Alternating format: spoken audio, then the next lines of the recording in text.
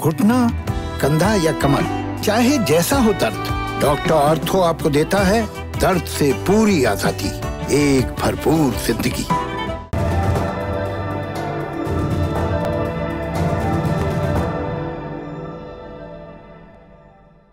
नमस्ते, मेरा नाम है निखिल और आप देख रहे हैं दिललन टॉप का इंटरनेशनल न्यूज़ बुलेटिन, दुनियादारी। आज सुनाएँगे एक जीनियस आर्टिस्ट की कहानी, एक छुई मुई सा आर्टिस्ट जो बात करने के लिए शब्द नहीं खोजता था, पियानो बजाता था। एक दफ़ा उसने बहन से कहा कि दफन किए जाने के ख्याल से ही उसका दम घुटने लगता है। ये कहने के कुछ रोज़ बाद उसकी मौत हो गई। बहन ने उसके शरीर को चिरवाया और उसका दिल निकाल कर भाग गई। इस बात को अब 171 साल बीत चुके हैं। उस आर्टिस्ट का संगीत, उसकी कहानियाँ अब भी ज़िंदा हैं। और ज़िंदा है उसका वो दिल, जो ब्रांडी के एक जार में डूबा, आज भी सुरक्षित रखा है। अब तक लोग कहते थे उस जीनियस कलाकार की कहानी बस तीन शब्दों में बताई जा सकती है पियानो प्रसिद्धि और बीमारी। मगर अब इस कहानी में एक और शब्द जुड़ गया है, समलैंगिकता। और इस नए एडिशन से उस कलाकार का देश गुस्से में है। क्यों? क्योंकि एक तरफ़ जहाँ वो इस कलाकार को अपना नेशनल आइकन मानते हैं, वही घनघोर होमोफोबिक भी हैं। उन्हें समलैंगिकता एक गंदी बीमारी लगती है। यहाँ के राष्ट्रपति कहते हैं कि समलैंगिकता विनाशक है प्रधानमंत्री समलैंगिकता को देश के लिए खतरा बताते हैं। ये पूरा मामला क्या है, विस्तार से बताते हैं आपको। यूरोप में एक देश है पोलैंड। इसकी राजधानी है वॉर्सो। इसे पोलिश भाषा में वर्सावा भी कहते हैं। मार्च 1810 की बात है, इसी वॉर्सो के पास एक गाँव में पैदा हुए फ्रेडरिक फ्रांसवा शोपैन। माँ पोलिश मूल की थी और पिता फ्रेंच। शोपैन की सेहत बचपन से ही बहुत नाजुक रहती थी। सांस लेने में परेशानी होने थी, वज़न घटता था डायरिया रहता था, और ये सारी चीज़ें उनके साथ हमेशा लगी रहती थी। एक और चीज़ स्टेपल थी उनके साथ, उनका पियानो। लोग कहते शोपैन चाइल्ड प्रोडिजी है। मतलब एकदम जीनियस, होनहार बच्चा। क्यों? इसीलिए कि वो सात साल की उम्र से ही पियानो कंसर्ट करने लगे थे, अपने म्यूज़िक पीसेस बनाने लगे थे। पोलैंड में खूब नाम कमाने के बाद 20 बरस की उम्र में शोपैन चले गए फ्रांस, पापा के देश। इसी के बाद अपने जीते जी वो कभी लौटे नहीं। फ्रांस की नागरिकता भी उन्होंने ले ली। शोपैन ने कुल 18 साल गुजारे फ्रांस में, खूब पियानो बजाया, ओपेरा लिखे, सिम्फनीज बनाई और इन्हीं की बदौलत वो कहलाए 19वीं सदी के सबसे महान संगीतकारों में से एक। मगर बीमारी ने इस पियानो लेजेंड को जीने का बहुत वक्त दिया नहीं। अक्टूबर अठारह सौ उनचास की बात है, जब उनतालीस साल की उम्र में टीबी से उनकी मौत हो गई। इससे पहले कि शोपैन का शरीर पेरिस के एक कब्रिस्तान में दफनाया जाता। शोपैन की बहन लुडविका ने अपने भाई के शरीर से उनका दिल निकाल लिया। बड़ी मुश्किल से लुडविका इस दिल को स्मगल करके पोलैंड लाई। यहाँ उन्होंने फ्रांस की एक मशहूर ब्रांडी कॉन्यक से भरे एक जार में शोपैन का दिल डुबाया और इस जार को सील करके रख दिया। वॉर्सो स्थित होली क्रॉस चर्च के तहखाने में। शोपैन का ये दिल आज भी वहाँ सुरक्षित रखा है। आप पूछेंगे उन्नीसवीं सदी के एक संगीतकार की कहानी, हम आज दुनियादारी में आपको क्यों सुना रहे हैं? इसीलिए सुना रहे हैं कि शोपैन इन दिनों बड़ी चर्चा में है, जैसा कि हमने आपको बताया। ये चर्चा शुरू हुई स्विट्जरलैंड से। यहाँ के सरकारी रेडियो एसआरएफ पर 13 नवंबर को एक प्रोग्राम प्रसारित हुआ, जिसका नाम था शोपैन्स मैन इस प्रोग्राम के मुताबिक शोपैन शायद गे थे। इस दावे का आधार है शोपैन के लिखे खत, जिन पर रिसर्च की है मॉरिस वेबर नाम के एक म्यूज़िक जर्नलिस्ट ने। इन्होंने शोपैन की लिखी पुरानी चिट्ठियों में पुरुषों के प्रति उनकी आसक्ति और उनके प्रेम के इजहार को खोज निकाला है, ऐसा वो दावा करते हैं। मसलन शोपैन द्वारा अपने स्कूल के दोस्त टाइटस को लिखी गई 22 चिट्ठियाँ। इनमें से ज़्यादातर चिट्ठियों की शुरुआत शोपैन ने माई डियरेस्ट लाइफ लिख कर की है। चिट्ठी के आखिर में लिखा है dearest lover give me a kiss इनमें से एक चिट्ठी में शोपैन ने लिखा है, तुम्हें पसंद नहीं कि कोई तुम्हें चूमे, प्लीज़ मुझे आज ऐसा करने की इजाज़त दो। बीती रात मैंने तुमसे जुड़ा जो शरारती सपना देखा था, उस डर्टी ड्रीम की कीमत तो तुम्हें देनी ही होगी। टाइटस को भेजी एक और चिट्ठी में शोपैन ने लिखा था, कई बार मैं जो बातें तुमसे कहना चाहता हूँ, वो सीक्रेट में पियानो को बता देता हूँ। शोपैन के अपने पुरुष मित्रों को भेजी चिट्ठियों में कभी प्रेम निवेदन दिखता है कभी कभी उनके शब्दों में कामुकता भी झलकती है। एक चिट्ठी में तो शोपैन ने यह तक लिखा है कि महिलाओं के साथ उनके अफेयर की अफवाहें दरअसल उनकी असल भावनाओं को छुपाने का एक लबादा भर है।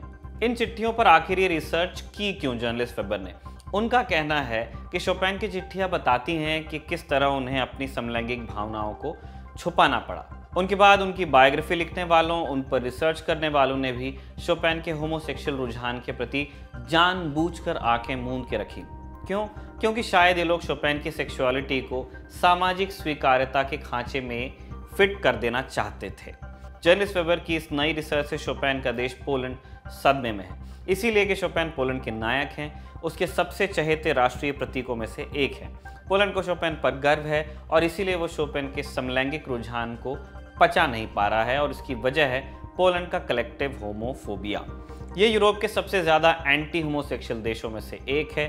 पोलैंड के कई इलाकों में लाउड स्पीकर लगाकर समलैंगिकता के खिलाफ नफरत उगली जाती है। आपको यहाँ कई बड़े बड़े पोस्टर्स लगे मिल जाएँगे, जहाँ बच्चों का यौन शोषण करने वालों की तुलना समलैंगिकों से की गई है।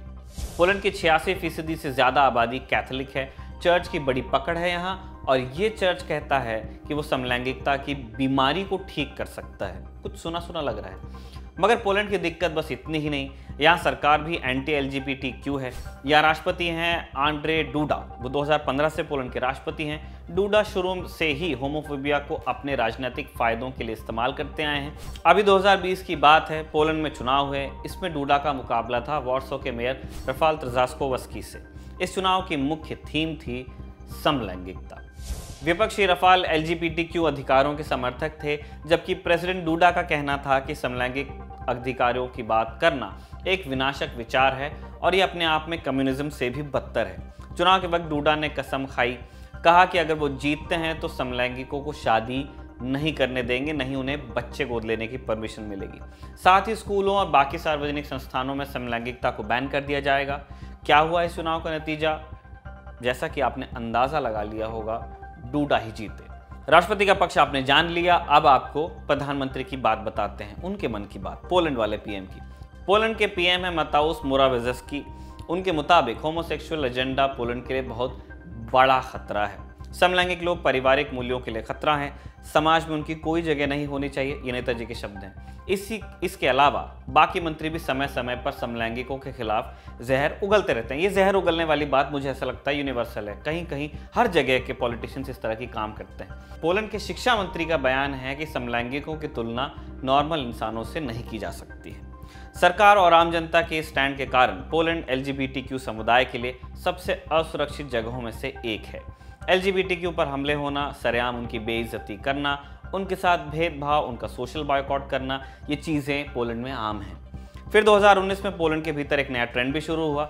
यहाँ के कई प्रांत और नगर पालिकाएँ खुद को LGBTQ फ्री जोन बताने लगी। सितंबर 2020 आते आते तकरीबन 100 इलाके इस लिस्ट में शामिल हो गए।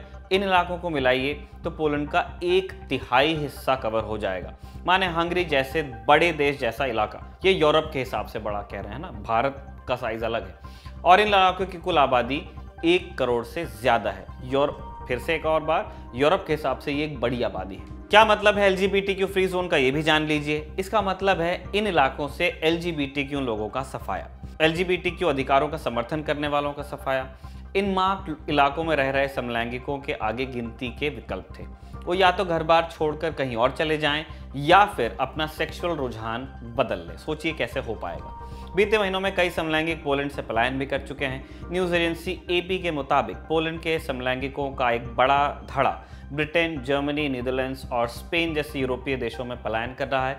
ये लोग अच्छी नौकरियों के लिए देश नहीं छोड़ रहे, बस ऐसी जगह जाना चाहते हैं जहाँ उन्हें सम्मान मिले, जहाँ वो रह सके चैन से। जहाँ उनके सेक्सुअल रुझान के चलते सरकार उनसे दुश्मनों जैसा बर्ताव न करे। इन्हीं मुद्दों को लेकर अभी अगस्त 2020 में पोलैंड के भीतर एक बड़ा प्रोटेस्ट भी हुआ। प्रदर्शन शुरू होने की वजह बना एक एलजीबीटीक्यू एक्टिविस्ट की गिरफ्तारी। इस प्रोटेस्ट पर पुलिस ने खूब क्रूरता दिखाई पीट पीट कर कईयों का सिर फोड़ दिया। ये भी सुना सुना लग रहा है। पोलैंड यूरोपियन यूनियन का सदस्य है ईयू समलैंगिक अधिकारों के प्रति बहुत सजग है। ऐसे में पोलैंड ने जब एल फ्री इलाके बनाए तो ईयू ने कार्रवाई की। उसने कहा कि वो इन इलाकों की ईयू से मिल रही फंडिंग को रोक रहा है। फिर सितंबर महीने में ईयू की नई president Ursula von der Leyen ने अपने भाषण में ये मुद्दा भी उठा दिया। उन्होंने कहा, पोलैंड के एल फ्री जोन्स अमानवीय हैं और उनकी ईयू में कोई जगह नहीं है। इसकी एक बड़ी वजह है ईयू की ट्रीटी इसमें क्रिमिनल और फैमिली से जुड़े कानूनों में सदस्य देशों के पास बढ़त है। इस मामले में दखल देने का बहुत स्कोप नहीं है ईयू के पास। मगर इस स्टैंड के बावजूद ईयू पर पोलैंड जैसे देश में बढ़ रहे होमोफोबिया पर पर्याप्त सख्ती न बरतने का आरोप है। इसकी एक बड़ी वजह है ईयू की ट्रीटी इसमें क्रिमिनल और फैमिली से जुड़े कानूनों में सदस्य देशों के पास बढ़त है। इन मामलों में दखल देने का बहुत स्कोप नहीं है ईयू के पास। वो जब भी हेट क्राइम या भेदभाव से जुड़े नियम लागू करने की कोशिश करते हैं, तब पोलैंड जैसे देश संप्रभुता का कार्ड खेल जाते हैं। ये भी सुना सुना लग रहा है। वैसे भी पोलैंड और हंगरी जैसे सदस्यों के साथ ईयू की पिछले कुछ समय से पट नहीं रही है। वहाँ बढ़ रही कट्टरता और तानाशाही के प्रति प्रवृत्ति के खिलाफ ईयू कुछ कर नहीं पा रहा है। पोलैंड में हावी इस एंटी एल कल्चर के बारे में बताने के बाद एक बार फिर लौटते हैं शोपैन पर। पोलैंड की जनता शोपैन को इस देश का फेवरेट बेटा मानती है। बहुत गर्व करती है उन पर। उनके नाम पर हर साल दर्जनों प्रोग्राम्स भी होते हैं। उनके नाम पर पोलैंड में दर्जनों पार्क्स और इमारतें भी हैं। देश के सबसे प्रमुख हवाई अड्डे का नाम है शोपैन एयरपोर्ट मगर शोपैन को इतना प्रेम करने वाला देश ये मानने को राज़ी नहीं कि वो समलैंगिक हो सकते हैं। पोलैंड में कहा जा रहा है कि ज़रूर अनुवादक ने शोपैन की चिट्ठियों को समझने में गलती कर दी है।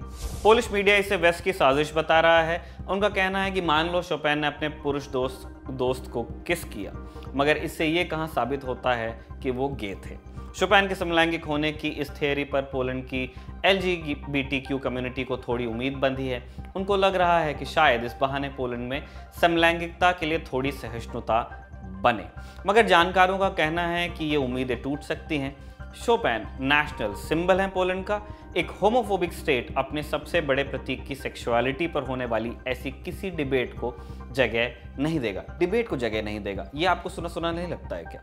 सोचिए एक इंसान किस लिंग के इंसान के साथ सेक्स करने में सहज है? किसके साथ वो रहना चाहता है? किसके साथ वो अपनी ज़िंदगी बिताना चाहता है? क्या ये तय करने का अधिकार उसका नहीं है?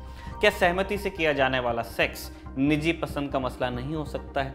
क्या किसी व्यक्ति के समलैंगिक होने की संभावना उसकी महानता को कम कर सकती है?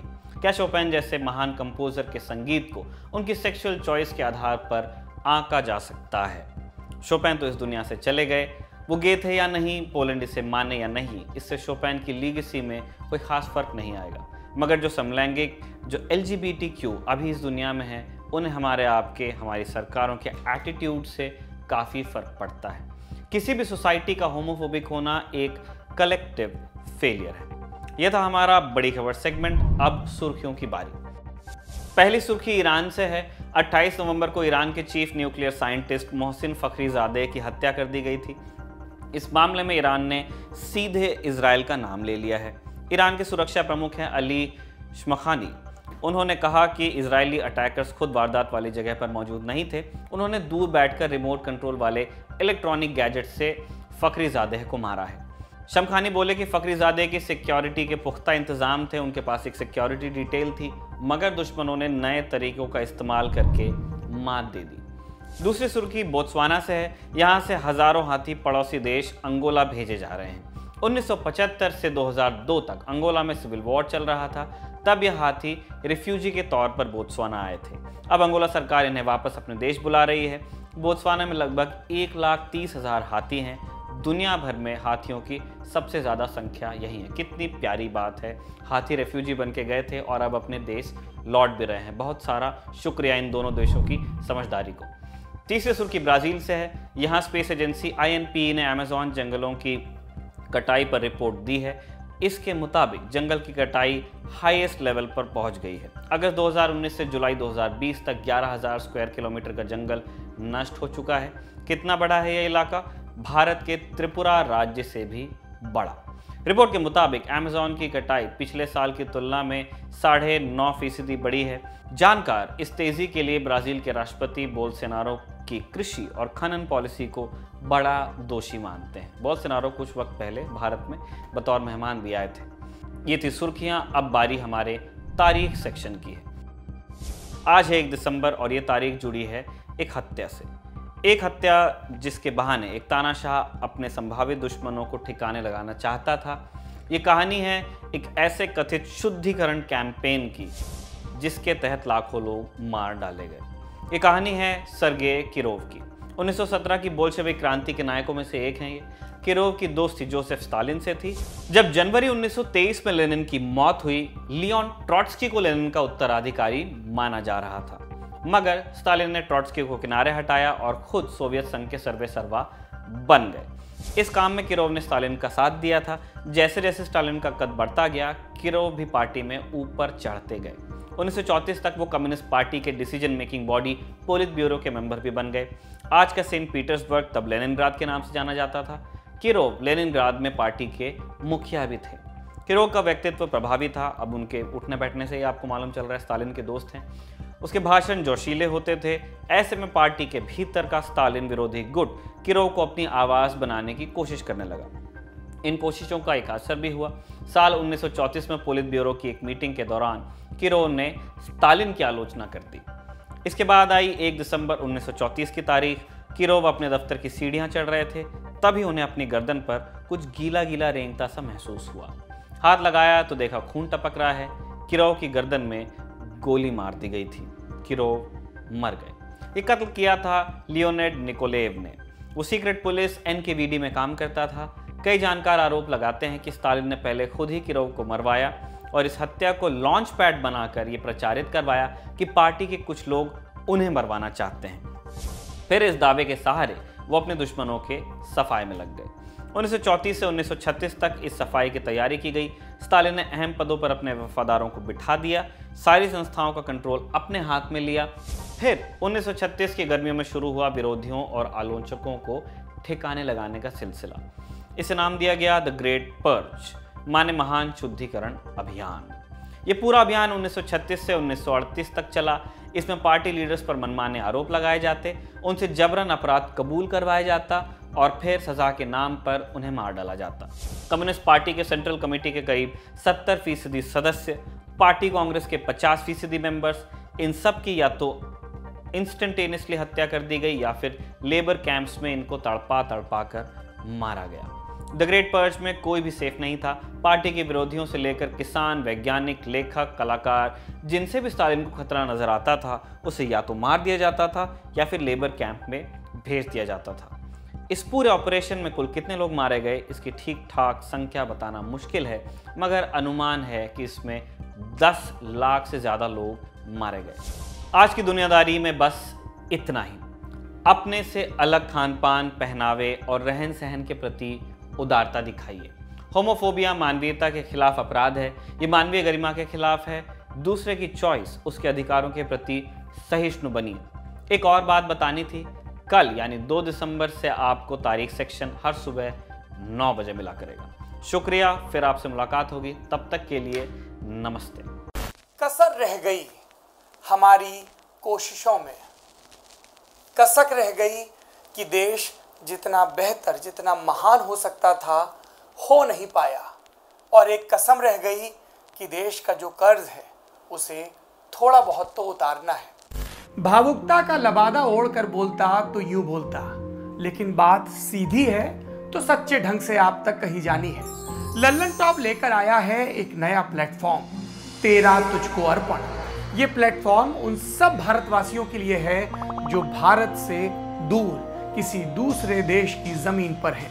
कभी पढ़ाई के लिए, कभी नौकरी के लिए।